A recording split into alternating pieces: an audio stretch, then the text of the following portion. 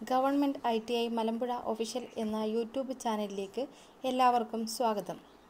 I T ഐയിൽ പഠിക്കുന്ന one year ട്രെയിനുകൾക്കും ടു ഇയർ ട്രെയിനുകൾക്കും ആദ്യ വർഷത്തിൽ പഠിക്കുവാനുള്ള ബേസിക് ഇലക്ട്രിസിറ്റി എന്ന ചാപ്റ്ററിലെ കുറച്ച് ഭാഗങ്ങളാണ് ഈ വീഡിയോയിൽ ഉൾപ്പെടുത്തിയിരിക്കുന്നത്. നമുക്ക് ടോപ്പിക്കിലോട്ട് പോകാം. ബേസിക് ഇലക്ട്രിസിറ്റി അഥവാ വൈദ്യുതിയുടെ അടിസ്ഥാനപരമായ കാര്യങ്ങൾ. ആദ്യം ഇലക്ട്രിസിറ്റി എന്താണെന്ന് അറിയുന്നതിന് മുന്നേ ആറ്റം എന്താണെന്ന് അറിഞ്ഞിരിക്കണം. സ്ട്രക്ചർ ഓഫ് ആൻ ആറ്റം അഥവാ ആറ്റത്തിന്റെ ഘടന. ഇനി ആറ്റത്തിന്റെ ഘടന എങ്ങനെയെന്ന് നോക്കാം.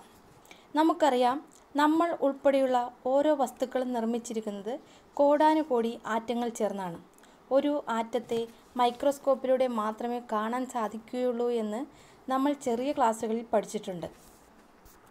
അപ്പോൾ ആറ്റം എന്ന് പറയുന്നത് atom is the smallest particle of an object ഒരു ഒബ്ജക്റ്റിന്റെ ഏറ്റവും ചെറിയ പാർട്ടിക്കിളിനെയാണ് ആറ്റം എന്ന് പറയുന്നത്. ഒരു ഒബ്ജക്റ്റിന്റെ ഏറ്റവും ചെറിയ പാർട്ടിക്കിളാണ് atom atom consist of a nucleus ഒരു ആറ്റത്തിൽ ഒരു ന്യൂക്ലിയസ് ഉണ്ട്. അതായത് ഒരു ആറ്റത്തിന്റെ സെന്റർ ഭാഗത്തെയാണ് ന്യൂക്ലിയസ് എന്ന് പറയുന്നത്. Nucleus consist of protons and neutrons ന്യൂക്ലിയസിനകത്ത് protons neutrons എന്നീ ഘടകങ്ങളുണ്ട്. Electrons revolve around the nucleus in specified path known as orbit or shell അതായത് നമ്മൾ ചെറിയ ക്ലാസ്സുകളിൽ പഠിച്ചിട്ടുണ്ട് ഒരു ആറ്റം എന്ന് പറയുന്നത് ന്യൂക്ലിയസും അതിന് ചുറ്റും കറങ്ങുന്ന ഇലക്ട്രോൺസും ചേർന്നതാണെന്ന്. ന്യൂക്ലിയസിനെ ചുറ്റി കറങ്ങിക്കൊണ്ടിരിക്കുന്ന ഇലക്ട്രോൺസിന്റെ പാത്തിനെയാണ് ഓർബിറ്റ് അഥവാ ഷെൽ എന്ന് വിളിക്കുന്നത്. ഇനി താഴെ കൊടുത്തിരിക്കുന്ന ചിത്രത്തിലൊന്ന് ശ്രദ്ധിക്കൂ. ഇതിൽ നമുക്ക് കാണാൻ സാധിക്കും സെൻട്രൽ ഭാഗത്തായി ഒരു ന്യൂക്ലിയസും ഈ ന്യൂക്ലിയസിൽ അടങ്ങിയിരിക്കുന്നത് ഈക്വൽ എമൗണ്ട് ഓഫ് പ്രോട്ടോൺസും ന്യൂട്രോൺസുമാണ്. ഇതിനെ റൗണ്ട് ചെയ്ത് ഇലക്ട്രോൺസും ഉണ്ട്. ഈ ഇലക്ട്രോൺ സഞ്ചരിക്കുന്ന ആ പാത്തിനെയാണ് ഓർബിറ്റ് അഥവാ ഷെൽ എന്ന് പറയുന്നത്. നമ്മൾ പറഞ്ഞു നമ്മൾ പറഞ്ഞു ന്യൂക്ലിയസിനകത്ത് പ്രോട്ടോൺസും ന്യൂട്രോൺസും ഉണ്ടെന്ന്. കൂടാതെ ഇവയെ ചുറ്റി ഇലക്ട്രോൺസും ഉണ്ട്. ഇനി ഇവയുടെ ചാർജസ് എന്തൊക്കെയാണെന്ന് നോക്കാം. പ്രോട്ടോൺസ്. പ്രോട്ടോൺസ് എന്ന് പറയുന്നത് പോസിറ്റീവ് ചാർജ്ഡ് പാർട്ടിക്കിൾസ് ആണ് ഇലക്ട്രോൺസ് നെഗറ്റീവ് ചാർജ്ഡ് പാർട്ടിക്കിൾസ് ആണ് ന്യൂട്രോൺസ് ചാർജ് ലെസ് പാർട്ടിക്കിൾസ് ആണ് മറന്നു പോകരുത് പ്രോട്ടോൺസിന് പോസിറ്റീവ് ചാർജും ഇലക്ട്രോൺസിന് നെഗറ്റീവ് ചാർജും ന്യൂട്രോൺസിന് ചാർജ് ഇല്ല അതായത് ചാർജ് ലെസ് ആണ് number of electrons in the valence decides the electrical property of an object. അതായത് ഒരു ഒബ്ജക്റ്റിന്റെ ഇലക്ട്രിക്കൽ പ്രോപ്പർട്ടി നിർണയിക്കുന്നത് അതിന്റെ വാലൻസ് ഷെല്ലിലെ ഇലക്ട്രോൺസിന്റെ എണ്ണമാണ്. അതായത് ഈ വാലൻസ് ഷെല്ലിലെ ഇലക്ട്രോൺസ് ആണ് ഇലക്ട്രിസിറ്റിക്ക് അടിസ്ഥാനം. അപ്പോൾ ഇലക്ട്രിസിറ്റി എങ്ങനെയാണ് ഉണ്ടാകുന്നതെന്ന് മനസ്സിലാക്കി. അതായത് electricity is the flow of electron. ഇലക്ട്രോൺസിന്റെ ഫ്ലോയാണ് ഇലക്ട്രിസിറ്റി എന്ന് പറയുന്നത്. ഓർത്തു വയ്ക്കുക ഫ്ലോ ഓഫ് ഇലക്ട്രോൺസ് ആണ് electricity. It is a type of energy ഇതൊരു ടൈപ്പ് ഓഫ് എനർജിയാണ്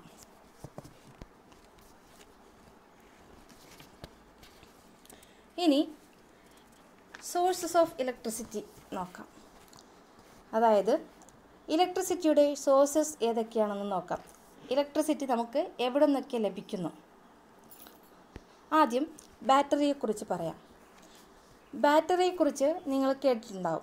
വാഹനങ്ങളിൽ മറ്റും ഉപയോഗിക്കാറുള്ള ആ ബാറ്ററി തന്നെയാണ് ഇവിടെയും നമ്മൾ പറയാൻ പോകുന്നത്. ബാറ്ററി എന്ന് പറയുന്നത് battery stores electrical energy in the form of chemical energy. അതായത് ഇലക്ട്രിക്കൽ എനർജീനെ കെമിക്കൽ എനർജിയായി സ്റ്റോർ ചെയ്തു വയ്ക്കുന്ന ഒരു ഡിവൈസാണ് ബാറ്ററി.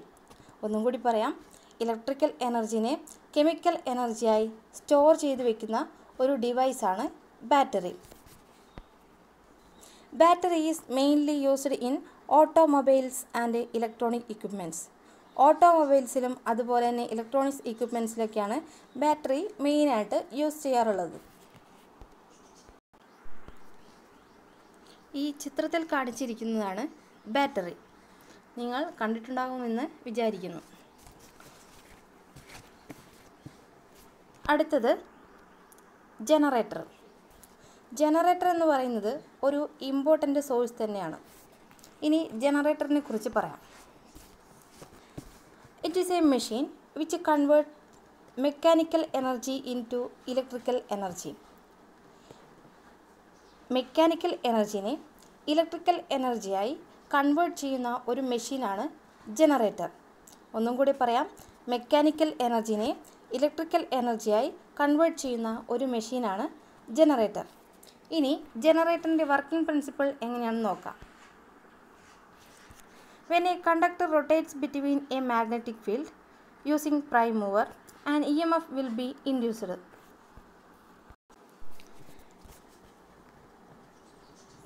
തന്നിരിക്കുന്ന എ സി ജനറേറ്ററിന്റെ ആ പിക്ചറിലൊന്ന് ശ്രദ്ധിക്കും. ഈ പിക്ചർ വെച്ച് അതിന്റെ വർക്കിംഗ് പറയുമ്പോൾ നമുക്ക് കൂടുതൽ വ്യക്തമാവും. ചിത്രത്തിൽ കാണിച്ചിരിക്കുന്ന രണ്ട് കാന്ത് കാന്തിക ധ്രുവങ്ങൾ ഉണ്ട്. North pole and south pole. ഈ കാന്തിക ധ്രുവങ്ങൾക്കിടയിൽ ഒരു ആർമേച്ചർ കാണാം. ഈ ആർമേച്ചർ റൊട്ടേറ്റിംഗ് ടൈപ്പാണ്. അതായത് കറങ്ങുന്ന ആർമേച്ചർ. ആർമേച്ചറുമായി കണക്ട് ചെയ്തിരിക്കുന്നത് രണ്ട് സ്ലിപ്പ് റിങ്സ് അതിനുശേഷം ബാക്കി സർക്യൂട്ടിലോട്ട് വൈദ്യുതി എത്തിക്കുന്ന രണ്ട് ബ്രഷുകളും അതായത് കാർബൺ ബ്രഷ്. ഈ ബ്രഷുമായി ഗാൽവനോമീറ്റർ അമ്മീറ്റർ ബൾബ് ഇവയിൽ ഏത് വേണമെങ്കിലും കണക്ട് ചെയ്യാം. നമ്മൾ ഇവിടെ അമ്മീറ്ററാണ് കണക്ട് ചെയ്തിരിക്കുന്നത്. നമ്മൾ പറഞ്ഞു ഇതിൽ ഒരു ആർമേച്ചർ ഉണ്ട് അത് റൊട്ടേറ്റിംഗ് ടൈപ്പാണ്. അപ്പോൾ ഈ ആർമേച്ചർ റൊട്ടേറ്റ് ചെയ്യുമ്പോൾ ഇതുമായി ബന്ധപ്പെട്ട കാന്തിക ഫ്ലക്സുകളിൽ മാറ്റം ഉണ്ടാവുകയും അതുമൂലം അവിടെ ഒരു ഇ എം എഫ് ഉണ്ടാവുകയും ഈ ഇ എം എഫിനെ സ്ലിപ്രിങ്സുമായി സദാ സ്പർശിക്കുന്ന ബ്രഷസ് കറണ്ടായി പുറത്തേക്ക് നൽകുകയും ചെയ്യുന്നു. ഇതാണ് ജനറേറ്ററിന്റെ working.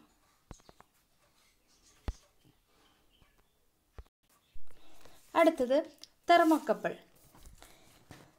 it is used for measure high temperature in furnaces അതായത് ഫർണസസിലെയൊക്കെ ഹൈ ടെമ്പറേച്ചർ മെഷർ ചെയ്യാൻ വേണ്ടിയിട്ടാണ് നമ്മൾ തെർമോകപ്പിൾ യൂസ് ചെയ്യുന്നത്. ഇനി തെർമോകപ്പിളിൽ എങ്ങനെ വോൾട്ടേജ് ഇൻഡ്യൂസ് ചെയ്യുന്നു എന്ന് നോക്കാം. If two dissimilar piece of metals are twisted together and its jointed end is heated in a flame then ഈ potential difference or voltage will be induced across the ends of the wires അതായത് രണ്ട് dissimilar piece of മെറ്റൽസിനെ പരസ്പരം വളച്ചു തിരിച്ച് അതിന്റെ ജോയിനഡ് എൻഡിൽ heat apply ചെയ്യുകയാണെങ്കിൽ വയേഴ്സിന് എക്രോസ് ആയിട്ട് ഒരു പൊട്ടൻഷ്യൽ ഡിഫറൻസോ വോൾട്ടേജോ ഇൻഡ്യൂസ് ചെയ്യും എന്നാണ് പറഞ്ഞിരിക്കുന്നത്. നമുക്ക് താഴെ തന്നിരിക്കുന്ന ചിത്രത്തിലോട്ട് ഒന്ന് നോക്കാം. ഇവിടെ രണ്ട് ഡിസിമിലർ മെറ്റൽസ് അതായത് wire type A wire type B. ഇവിടെ നമ്മൾ അതിന്റെ വയേഴ്സ് തമ്മിൽ ജോയിൻ ചെയ്തിരിക്കുന്നത് കാണാം. രണ്ട് എൻഡ് തമ്മിൽ ജോയിൻ ചെയ്തിരിക്കുന്നത്. അവിടെയാണ് നമ്മൾ ഹീറ്റ് അപ്ലൈ ചെയ്യുന്നത്. ഇവിടെ നമ്മൾ ക്യാൻഡിൽ വെച്ചാണ് ഹീറ്റ് അപ്ലൈ ചെയ്യുന്നത്.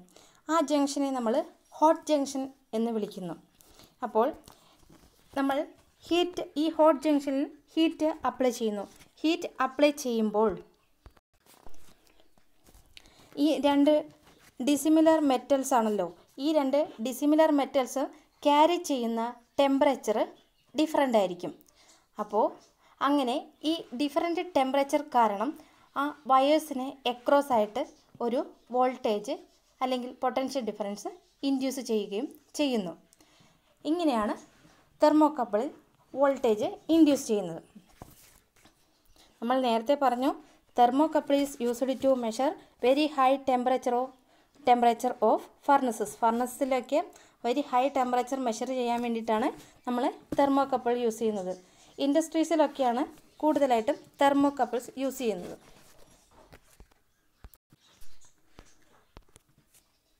അടുത്തത് effects of electricity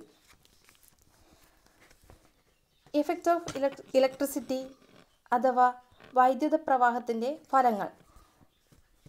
First one physical effect physical effect എന്തെന്ന് നോക്കാം. Human body is a good conductor when the body touches the bare current carrying conductor current flows through the human body to earth and body gets severe shock or causes even death in many cases അതായത് human body ഒരു good conductor ആണ് എന്ന് പറഞ്ഞാൽ കറണ്ടിനെ ഈസിയായി pass ചെയ്യുന്നു എന്നർത്ഥം. നമ്മൾ ഒരു ബെയർ കറണ്ട് വഹിക്കുന്ന ഒരു കണ്ടക്ടറിൽ ടച്ച് ചെയ്താൽ ആ കറണ്ട് മുഴുവനായി നമ്മുടെ ശരീരത്തിലൂടെ ഫ്ലോ ചെയ്ത് എർത്തിൽ എത്തുകയും അതുമൂലം നമുക്ക് ഷോക്ക് അനുഭവപ്പെടുകയും ചെയ്യുന്നു. ചിലപ്പോൾ മരണം വരെ സംഭവിച്ചേക്കാം. ഇതൊരു ഫിസിക്കൽ ഇഫക്റ്റാണ് അടുത്തത് magnetic effect. When an electric current passes through a coil a magnetic field is produced around it. ഒരു കോയിലിൽ കൂടി ഇലക്ട്രിക് കറണ്ട് പാസ് ചെയ്യുമ്പോൾ അവിടെ ഒരു മാഗ്നറ്റിക് ഫീൽഡ് ഉണ്ടാകുന്നു. Example electromagnetic motor generator electric bell chemical effect when an electric current passes through an electrolyte chemical action takes place ഒരു ഇലക്ട്രോലൈറ്റിൽ കൂടി ഇലക്ട്രിക് കറണ്ട് പാസ് ചെയ്യുമ്പോൾ അവിടെ ഒരു കെമിക്കൽ ആക്ഷൻ നടക്കുന്നു. Example electroplating cells and battery charging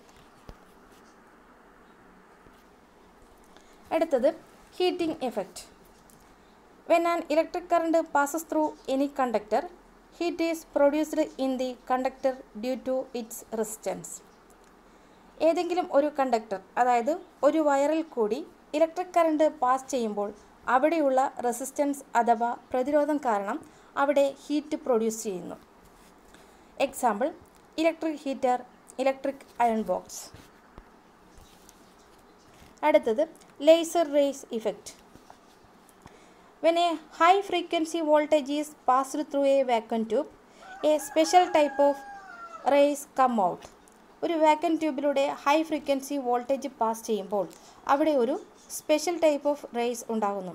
ഇതൊരു laser ray ഇഫക്റ്റാണ് example X rays laser rays അടുത്തത് gas effect when electrons passes through a certain type of sealed glass shell containing gas then it emits light rays example mercury vapour lamp sodium vapour lamp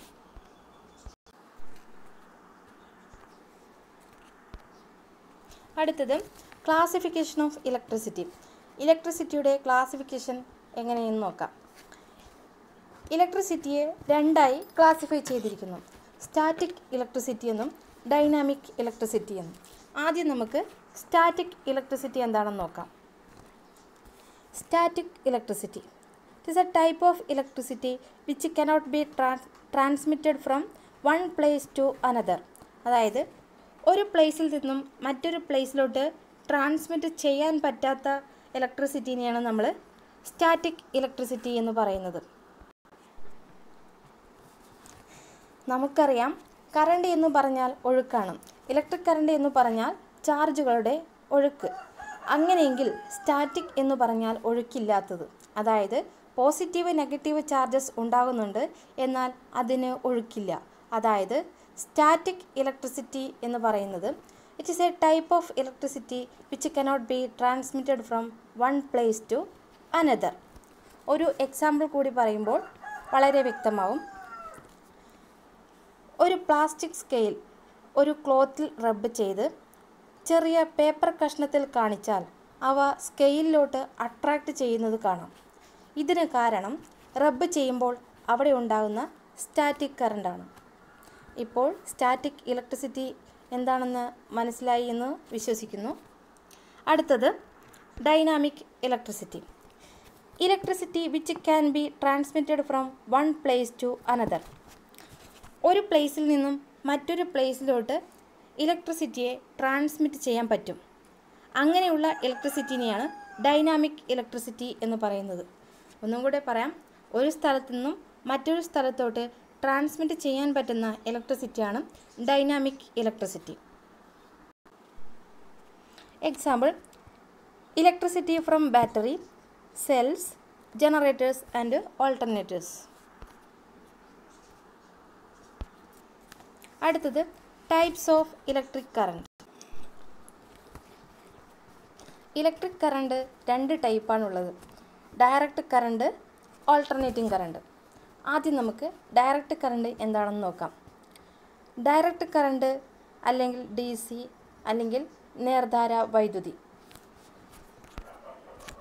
Direction and magnitude of the current does not ഒരു കറണ്ടിന്റെ ഡയറക്ഷനോ അതുപോലെ തന്നെ മാഗ്നിറ്റ്യൂഡിനോ ഒരു മാറ്റവും സംഭവിക്കുന്നില്ല എങ്കിൽ ആ കറണ്ടിനെ നമ്മൾ ഡയറക്റ്റ് കറണ്ട് എന്ന് പറയുന്നു.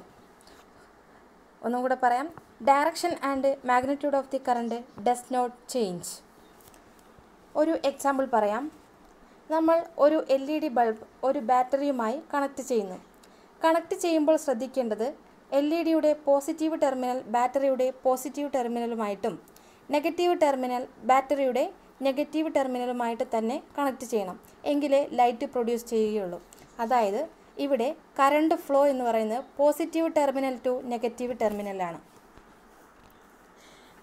current flow will will be from the positive terminal to the negative terminal ഈ direct കറണ്ടിൽ current flow will be will be from the positive terminal to the negative ടെർമിനലാണ് ഇനി തന്നിരിക്കുന്ന ഗ്രാഫിൽ നോക്കുക. ഈ ഗ്രാഫ് നോക്കിയാൽ നമുക്ക് മനസ്സിലാവും. ടൈമിനനുസരിച്ച് വോൾട്ടേജോ ഡയറക്ഷനോ മാറുന്നില്ല. ഒരു കോൺസ്റ്റന്റ് വോൾട്ടേജിൽ കറണ്ട് ഫ്ലോ ചെയ്യുന്നതായാണ് കാണുന്നത്. അതുകൊണ്ടാണ് ഇതിനെ ഡയറക്റ്റ് കറണ്ട് അഥവാ നേർധാര വൈദ്യുതി എന്ന് പറയുന്നത്. Sources are cells batteries and D C generators. അതായത് ഡയറക്റ്റ് കറണ്ട് നമുക്ക് എവിടെ നിന്നൊക്കെ കിട്ടുന്നതെന്ന് പറഞ്ഞാൽ സെൽസിൽ നിന്ന് ബാറ്ററീസിൽ നിന്ന് ഡി സി ജനറേറ്റേഴ്സ് എന്നിവയിൽ നിന്നൊക്കെ കിട്ടുന്ന current direct കറണ്ടാണ്.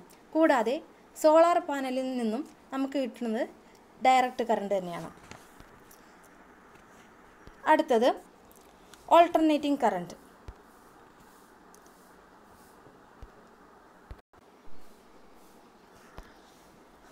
alternating current or A C അല്ലെങ്കിൽ പ്രതിധാര വൈദ്യുതി എന്നും പറയും.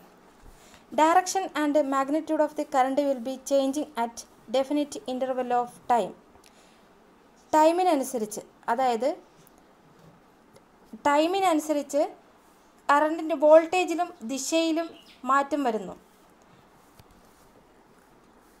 Direction and magnitude of the current will be changing at a definite interval of time ഒരു ടൈമിനനുസരിച്ച് കറണ്ടിന്റെ ഡയറക്ഷനും മാഗ്നിറ്റ്യൂഡിലും ചേഞ്ച് ഉണ്ടാവുന്നു മാറ്റം വരുന്നു. അങ്ങനെയുള്ള കറണ്ടിനെയാണ് നമ്മൾ ആൾട്ടർനേറ്റിംഗ് കറണ്ട് അല്ലെങ്കിൽ പ്രതിധാര വൈദ്യുതി എന്ന് പറയുന്നത്. ഇവിടെ കറണ്ട് ഫ്ലോ ചെയ്യുന്നത് ഫേസ് ടെർമിനലിൽ നിന്നും neutral ടെർമിനലിലോട്ടാണ് the current the current flow will be from the phase terminal to the neutral terminal A സിയുടെ നോർമൽ സപ്ലൈ ഫ്രീക്വൻസി എന്ന് പറയുന്നത് ഒരു സെക്കൻഡിൽ അമ്പത് സൈക്കിളാണ് ഒരു സെക്കൻഡിൽ അമ്പത് സൈക്കിളാണ് എ സിയുടെ നോർമൽ സപ്ലൈ ഫ്രീക്വൻസി ഇനി താഴെ തന്നിരിക്കുന്ന ഗ്രാഫിലോട്ട് ഒന്ന് ശ്രദ്ധിക്കുക. ഇവിടെ ടൈമിനനുസരിച്ച് വോൾട്ടേജ് മാറുന്നത് കാണാം. ഈ ഗ്രാഫിനെ സൈൻ വേവ് അല്ലെങ്കിൽ എ സി വേവ് എന്ന് പറയുന്നു. നമുക്കറിയാം എ സി ജനറേറ്റ് ചെയ്യുന്നത് ജനറേഷൻ ജനറേറ്റർ ഉപയോഗിച്ചാണ്. വെള്ളത്തിൽ നിന്നും വെള്ളച്ചാട്ടത്തിൽ നിന്നുമൊക്കെ എ സി ജനറേറ്റ് ചെയ്യുന്നത് ഇതുപോലെ ജനറേറ്റേഴ്സ് ഉപയോഗിച്ചിട്ടാണ്. കെ എസ് സി ബിയിൽ നിന്നും നമ്മുടെ വീടുകളിലേക്ക് വരുന്നത് എ സി കറണ്ടാണ് കെ എസ് സി ബിയിൽ നിന്നൊക്കെ നമ്മുടെ വീടുകളിലേക്ക് എത്തിക്കുന്ന ആ കറണ്ട് എന്ന് പറയുന്നത് എ സി കറണ്ടാണ് അതായത് ഓൾട്ടർനേറ്റിംഗ് കറണ്ടാണ് അടുത്തത് basic electrical terms basic electrical terms എന്തൊക്കെയാണെന്ന് നോക്കാം. ഒന്നാമത്തത് quantity of electricity current in any conductors is equal to the quantity of electrical charge that flows across any section of it in one second. ഒരു കണ്ടക്ടറിലെ current ഒരു സെക്ഷന് across ആയിട്ട് ഒരു സെക്കൻഡിൽ ഫ്ലോ ചെയ്യുന്ന ഇലക്ട്രിക്കൽ ഇലക്ട്രിക്കൽ ചാർജിന് ഈക്വൽ ആയിരിക്കും. അതായത് I into Q by T ആയിരിക്കും. ഐ എന്നാൽ കറണ്ടും ക്യൂ എന്നാൽ ഇലക്ട്രിക് ചാർജും ടി എന്നത് ടൈമും ആകുന്നു ഇതിൽ നിന്നും Q is equal to I into T എന്ന് മനസ്സിലാക്കാം. Q charge equal to current into time unit is coulomb അതായത് ഇതിന്റെ യൂണിറ്റ് ഇതിന്റെ യൂണിറ്റ് എന്ന് പറയുന്നത് യൂണിറ്റ് കൂളംസ് ആണ്. യൂണിറ്റ് എന്ന് പറയുന്നത് കൂളംസ് ആണ്. മറന്നു പോകരുത്. നമ്മൾ നേരത്തെ പറഞ്ഞു ക്യൂ ഈക്വൽ ടു അതായത് charge equal to I into T അതായത് ഒരു നിശ്ചിത സമയത്ത് ഒരു കണ്ടക്ടറിലൂടെ കടന്നു പോകുന്ന ചാർജുകളുടെ എണ്ണമാണ് കറണ്ട് അഥവാ ഇലക്ട്രിസിറ്റി അപ്പോൾ നമ്മൾ നേരത്തെ പറഞ്ഞു ഫ്ലോ ഓഫ് ഇലക്ട്രോൺസ് ആണ് ഇലക്ട്രിസിറ്റി എന്നും. അപ്പോൾ ഇവിടെ ചാർജിന് നമുക്ക് Q is equal to I into T എന്ന് പറയാമെങ്കിൽ അതിനെ നമുക്ക് എങ്ങനെ ഡിഫൈൻ ചെയ്യാം? ഒരു നിശ്ചിത സമയത്ത് ഒരു കണ്ടക്ടറിലൂടെ കടന്നു പോകുന്ന ചാർജുകളുടെ എണ്ണമാണ് കറണ്ട് അഥവാ ഇലക്ട്രിസിറ്റി ഇനിയും ഞാൻ പറഞ്ഞു നമ്മൾ പറഞ്ഞല്ലോ നേരത്തെ ഇതാ അതായത് ഇലക്ട്രിക് ചാർജിന്റെ യൂണിറ്റ് കൂളമാണ് അല്ലെങ്കിൽ ആംബിയർ സെക്കൻഡാണ് ഇതിന്റെ ബിഗ്ഗർ യൂണിറ്റ് എന്ന് പറയുന്നത് ആംബിയർ ആണ്. അല്ലെങ്കിൽ എ എച്ച് എന്ന് പറയും. വൺ എ എച്ച് അഥവാ one ampere hour equal to മൂവായിരത്തി അറുന്നൂറ് ആംബിയർ സെക്കൻഡ് ഓർ മൂവായിരത്തി അറുന്നൂറ് കൂളം. അടുത്തത് ഇലക്ട്രോമോട്ടീവ് ഫോഴ്സ് അല്ലെങ്കിൽ ഇ എം എഫ് എന്ന് പറയും. മോട്ടീവ് എന്നാൽ പ്രേരിപ്പിക്കുക എന്നാണ്. It is the force which causes to flow the free electrons in any closed circuit അതായത് ഇലക്ട്രോൺസിനെ മൂവ് ചെയ്യാൻ പ്രേരിപ്പിക്കുന്ന ഫോഴ്സാണ് ഇലക്ട്രോമോട്ടീവ് ഫോഴ്സ് മറ്റൊരു രീതിയിൽ പറയുകയാണെങ്കിൽ ഒരു വാട്ടർ ടാങ്കിൽ വെള്ളം നിറച്ചിരിക്കുന്നു. ആ വെള്ളത്തിന്റെ പ്രഷർ കാരണം വെള്ളം പൈപ്പിലൂടെ പുറത്തേക്ക് ഒഴുകുന്നത് കാണാം. ടാങ്കിലെ വെള്ളത്തിന്റെ പ്രഷർ കൂടിയത് കാരണം വെള്ളത്തിന്റെ ഒഴുക്കിന്റെ ശക്തിയും കൂടും. ഇതുപോലെയാണ് ഇലക്ട്രിക്കൽ എനർജിയിൽ ഇ എം എഫ് പ്രവർത്തിക്കുന്നത്. വാട്ടർ ടാങ്കിലെ വെള്ളത്തിന്റെ പ്രഷറിന് തുല്യമായ ഇലക്ട്രിക്കൽ പ്രഷറാണ് ഇ എം എഫ് എന്ന് പറയാം. It is due to difference in electrical pressure or potential E M F represented by capital letter E capital letter E വെച്ചാണ് നമ്മൾ ഇ എം എഫിനെ റെപ്രസെന്റ് ചെയ്യുന്നത്. യൂണിറ്റ് ഈസ് വോൾട്ട് അടുത്തത് potential difference potential difference എന്ന് പറയുന്നത് difference in electrical potential measured across two points of the circuit സർക്യൂട്ടിന്റെ രണ്ട് പോയിന്റ്സിന് across ആയിട്ട് വരുന്ന ഇലക്ട്രിക്കൽ പൊട്ടൻഷ്യലിന്റെ ഡിഫറൻസ് അല്ലെങ്കിൽ വ്യത്യാസമാണ് പൊട്ടൻഷ്യൽ ഡിഫറൻസ് എന്ന് പറയുന്നത്. ഇപ്പോൾ നമ്മൾ ഒരു ബാറ്ററി ഒരു സർക്യൂട്ടിൽ കണക്ട് ചെയ്യുമ്പോൾ ആ ബാറ്ററിയിൽ നിന്നും പുറത്തേക്ക് വരുന്ന output E M F or input വോൾട്ടേജിനേക്കാൾ കുറവായിരിക്കുന്നത് കാണാം. പൊട്ടൻഷ്യൽ ഡിഫറൻസ് എപ്പോഴും ഇ എം എഫിനേക്കാൾ അല്പം കുറവായിരിക്കും. അതിന് കാരണം അവിടെയുണ്ടാവുന്ന voltage ഡ്രോപ്പാണ് the supply voltage is called potential difference supply വോൾട്ടേജിനെ നമ്മൾ പൊട്ടൻഷ്യൽ ഡിഫറൻസ് എന്ന് പറയുന്നു. It is represented by V capital letter V വെച്ചാണ് ഇതിനെ റെപ്രസെന്റ് ചെയ്യുന്നത്. യൂണിറ്റ് ഈസ് വോൾട്ട്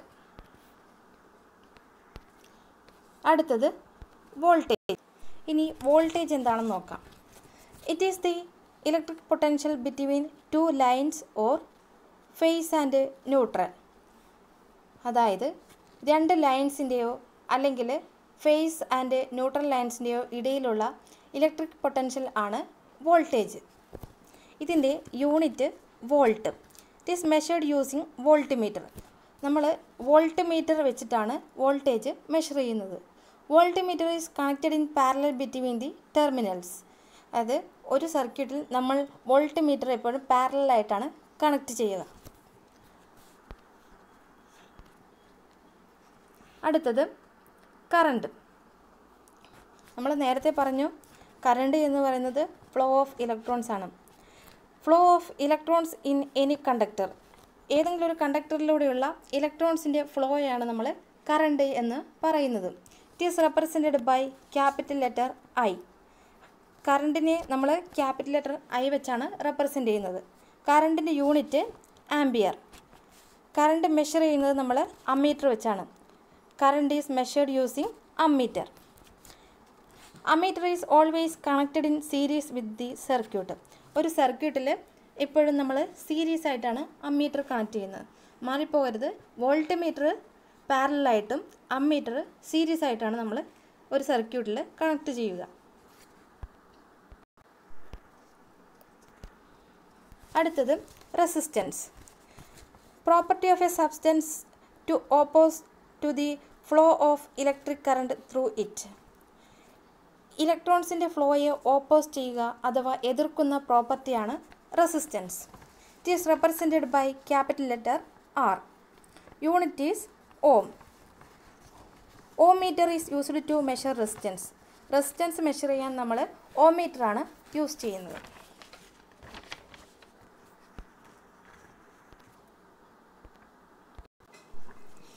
അടുത്തത് law of resistance law of resistance എന്തൊക്കെയാണെന്ന് നോക്കാം. The resistance offered by a conductor depends on first one resistance directly proportion to the length of the conductor. കണ്ടക്ടറിന്റെ ലെങ്ത്തിന് resistance directly പ്രൊപ്പോർഷനിലാണ് directly proportion എന്ന് പറഞ്ഞാൽ നേർ അനുപാതത്തിലാണ്. ഒരു കണ്ടക്ടറിന്റെ ലെങ്ത്തിന് റെസിസ്റ്റൻസ് ഡയറക്ട്ലി പ്രൊപ്പോർഷനിലാണ് എന്ന് പറഞ്ഞാൽ കണ്ടക്ടറിന്റെ ലെങ്ത്ത് കൂടുന്നതിനനുസരിച്ചിട്ട് റെസിസ്റ്റൻസും കൂടുന്നു. അതാണ് ഡയറക്ട്ലി പ്രൊപ്പോഷൻ ഒന്ന് കൂടുമ്പോൾ അടുത്തതും കൂടുന്നു. ഇവിടെ കണ്ടക്ടറിന്റെ ലെങ്ത്ത് കൂടുമ്പോൾ റെസിസ്റ്റൻസ് കൂടു കൂടുന്നു. അതുകൊണ്ടാണ് റെസിസ്റ്റൻസും ലെങ്ത് ഓഫ് ദ കണ്ടക്ടേഴ്സും ഡയറക്ട്ലി പ്രൊപ്പോഷനിലാണെന്ന് പറയുന്നത്. അടുത്തത് resistance inversely proportion to the cross sectional area of conductor. ഒരു കണ്ടക്ടറിന്റെ ക്രോസ് സെക്ഷൻ ഏരിയയ്ക്ക് വിപരീത അനുപാതത്തിലാണ് റെസിസ്റ്റൻസ്. എന്ന് പറഞ്ഞാൽ cross sectional area cross sectional area എന്ന് പറഞ്ഞാൽ നമുക്കറിയാം ഇലക്ട്രോൺസിന്റെ ഫ്ലോ അതായത് കറണ്ട് പോകുന്നത് കണ്ടക്ടറിന് അകത്തൂടെയാണ്. അപ്പോൾ അതിനെ നമ്മൾ അതുകൊണ്ടാണ് നമ്മൾ ക്രോസ് സെക്ഷണൽ ഏരിയ എന്ന് പറയുന്നത്. അപ്പോൾ ഒരു ഒരു കണ്ടക്ടറിന്റെ ക്രോസ് സെക്ഷണൽ ഏരിയ കൂടുമ്പോൾ അവിടെ റെസിസ്റ്റൻസ് കുറയുന്നു. അതായത് ഇൻവേഴ്സ്ലി പ്രൊപ്പോർഷനാണ് വിപരീത അനുപാതത്തിലാണെന്നാണ് പറയുന്നത്. ഏരിയ കൂടുമ്പോൾ റെസിസ്റ്റൻസ് കുറയുന്നു. അടുത്തത് it resistance is depends on the material with which is made ഇപ്പോൾ ഓരോ മെറ്റീരിയൽസും ഓരോ മെറ്റീരിയൽസും നിർമ്മിച്ചിരിക്കുന്നത് ഡിഫറെന്റ് റെസിസ്റ്റിവിറ്റിയിലാണ് അതായത് മെറ്റീരിയൽസിന്റെ ഓരോ മെറ്റീരിയൽസിനും റെസിസ്റ്റിവിറ്റി എന്ന് പറയുന്നത് ഡിഫറെന്റ് ആണ്. അപ്പോൾ ഇങ്ങനെ റെസിസ്റ്റിവിറ്റിയിൽ ഡിഫറന്റ് വരുമ്പോൾ ഡിഫറൻസ് വരുമ്പോൾ അതിന്റെ എന്താ പറയുക റെസിസ്റ്റൻസിൽ റെസിസ്റ്റിവിറ്റിയിൽ ഡിഫറൻസ് വരുമ്പോൾ അവിടെ ഉണ്ടാകുന്ന ആ റെസിസ്റ്റൻസിലും ഡിഫറന്റ് ആയിരിക്കും. അതാണ് ഇവിടെ പറയുന്നത്. Depends on the resistance is depends on the material with which is made അതായത് ഓരോ മെറ്റീരിയലിനെയും ഡിപ്പെൻഡ് ചെയ്തിരിക്കുന്നു റെസിസ്റ്റൻസ് കാരണം ഓരോ മെറ്റീരിയലിലും റെസിസ്റ്റിവിറ്റി എന്ന് പറയുന്നത് ഡിഫറന്റ് ആയിരിക്കും. അടുത്തത് resistance depends on the temperature of the conductor ഒരു കണ്ടക്ടറിന്റെ ടെമ്പറേച്ചറിനെ ഡിപ്പെൻഡ് ചെയ്തിരിക്കുന്നു. കണ്ടക്ടറിലെ ടെമ്പറേച്ചറിനെ ഡിപ്പെൻഡ് ചെയ്തിരിക്കുന്നു എന്നാണ് പറയുന്നത്. ഇനി നമുക്ക് ഈ രണ്ടിലും അതായത് കണ്ടക്ടറിന്റെ ലെങ്ത്തിന് ഡയറക്റ്റ്ലി പ്രൊപ്പോർഷനിലാണ് റെസിസ്റ്റൻസ് എന്ന് പറഞ്ഞു. അതുപോലെ തന്നെ ക്രോസ് സെക്ഷൻ ഏരിയയ്ക്ക് ഇൻവേഴ്സിൽ പ്രൊപ്പോർഷനിലാണ് റെസിസ്റ്റൻസ് എന്ന് പറഞ്ഞു. അതിന് നമ്മൾ ലെറ്റേഴ്സ് വെച്ചാണ് കാണിച്ചിരിക്കുന്നത് ഇവിടെ. അടുത്തത് ഈ രണ്ട് ലോയും നമുക്ക് ഒരുമിച്ച് എഴുതാം. R proportional to L by A that means resistance directly proportional to length and inversely proportional to cross section area of conductor R is equal to rho into L by A. R is equal to rho into L by A ഇതിൽ നിന്ന് നമുക്ക് raw കണ്ടുപിടിക്കാം. Raw എന്താണെന്ന് ഞാൻ പിന്നീട് പറയാം. Rho equal to R into A by L rho equal to R into A by L this rho is known as specific resistance ഇതിനെ specific resistance എന്ന് പറയുന്നു. അല്ലെങ്കിൽ നമ്മൾ ഇതിനെ ഓൾസോ കോൾഡ് റെസിസ്റ്റിവിറ്റി റെസിസ്റ്റിവിറ്റി എന്നും പറയുന്നു. നേരത്തെ പറഞ്ഞു ഓരോ മെറ്റീരിയലിനും റെസിസ്റ്റിവിറ്റി ഡിഫറന്റ് ആയിരിക്കും. അതുകൊണ്ടാണ് നമ്മൾ നേരത്തെ പറഞ്ഞത് എന്താണ്? റെസിസ് resistance depends on the material with which is made എന്ന് നമ്മൾ നേരത്തെ പറഞ്ഞു. അപ്പോൾ റെസിസ്റ്റിവിറ്റി എന്ന് പറഞ്ഞാൽ ഓരോ മെറ്റീരിയലിനും ഡിഫറന്റ് ആയിരിക്കും. It is measured in ohmmeter or micro ohmmeter ohmmeter വെച്ചിട്ടോ അല്ലെങ്കിൽ മൈക്രോ ഓമീറ്റർ വെച്ചിട്ടാണ് ഇത് മെഷർ ചെയ്യുന്നത്. അടുത്തത് ഓംസ് ലോ. ഇനി ഓംസ് ലോ എന്താണെന്ന് നോക്കാം. ഓംസ് ലോ എന്ന് പറയുന്നത് ബേസിക് ഇലക്ട്രിസിറ്റിയിലെ പ്രധാന ലോയാണ് അപ്പോൾ ഓം എന്നത് ഒരു സയന്റിസ്റ്റിന്റെ പേരാണ്. ഇനി ഓംസ് ലോ എന്താണെന്ന് നോക്കാം. ഒരു സർക്യൂട്ടിലെ കറണ്ട് വോൾട്ടേജ് റെസിസ്റ്റൻസ് എന്നിവയെ തമ്മിലുള്ള അതായത് എന്നിവ തമ്മിലുള്ള ബന്ധത്തെ കുറിക്കുന്ന ഒരു ലോ ആണ് ഓംസ് ലോ. ഒരു സർക്യൂട്ടിലെ കറണ്ട് വോൾട്ടേജ് റെസിസ്റ്റൻസ് എന്നിവ തമ്മിലുള്ള ബന്ധക്ക് ബന്ധത്തെ കുറിക്കുന്ന ഒരു ലോ ആണ് ഓംസ് ലോ. ഇനി ഓംസ് ലോ നമുക്ക് എങ്ങനെ പറയാൻ നോക്കാം? ഡിഫൈൻ ചെയ്യുന്നത് എങ്ങനെയാണെന്ന് പറഞ്ഞാൽ ohm's law state that at a constant temperature the current passing through a closed circuit is directly proportional to the potential difference and inversely proportional to the resistance അതായത് ഒരു specific ടെമ്പറേച്ചറിൽ ഒരു സർക്യൂട്ട് ഒരു സർക്യൂട്ടിലെ current ആ സർക്യൂട്ടിലെ വോൾട്ടേജിന് നേർ അനുപാതത്തിലും ആ സർക്യൂട്ടിലെ പ്രതിരോധത്തിന് വിപരീത അനുപാതത്തിലും ആയിരിക്കും. ഒന്നും കൂടി പറയാം. ഒരു സ്പെസിഫിക് ടെമ്പറേച്ചറിൽ ഒരു സർക്യൂട്ടിലെ കറണ്ട് ആ സർക്യൂട്ടിലെ വോൾട്ടേജിന് നേർ അനുപാതത്തിലും ആ സർക്യൂട്ടിലെ പ്രതിരോധത്തിന് അതായത് റെസിസ്റ്റൻസിന് വിപരീത അനുപാതത്തിലുമായിരിക്കും അതായത് I proportional to V I proportional to V എന്നാൽ ഐ എന്ന് പറഞ്ഞാൽ കറണ്ടും വി എന്ന് പറയുന്നത് വോൾട്ടേജും കറണ്ട് വോൾട്ടേജിന് നേർ അനുപാതത്തിലും. Resistance I pro I inversely proportional to R അതായത് I proportional to one by R that means current inversely proportional to resistance എന്ന് പറഞ്ഞാൽ വോൾട്ടേജ് വർദ്ധിക്കുമ്പോൾ കറണ്ടും വർദ്ധിക്കുന്നു. വോൾട്ടേജ് കുറയുമ്പോൾ കറണ്ടും കുറയുന്നു. എന്നാൽ റെസിസ്റ്റൻസ് വർദ്ധിക്കുന്നതിനനുസരിച്ച് കറണ്ട് കുറയുകയും ചെയ്യുന്നു. റെസിസ്റ്റൻസ് കുറഞ്ഞാൽ കറണ്ട് വർദ്ധിക്കുകയും ചെയ്യുന്നു.